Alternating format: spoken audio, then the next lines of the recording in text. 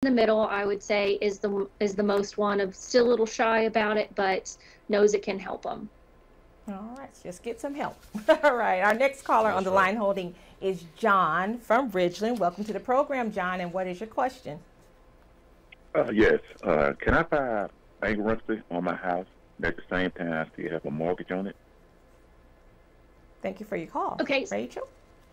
Yeah. Um, are you wanting to keep your house? Yes. Yes. So if you are behind on the house, you can file to catch up on the mortgage and still keep it that way.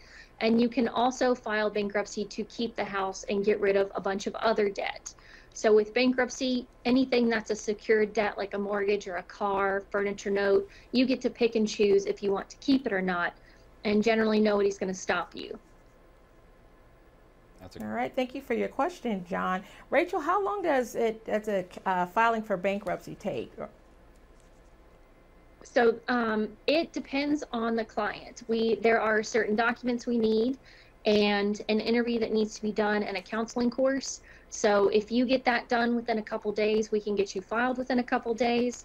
Um, if it ends up taking, I've had some clients come in three, four months later and want to file after I've gotten everything. So if you, as fast as the client or as slow as the client wants to go. Okay, all right, thank you.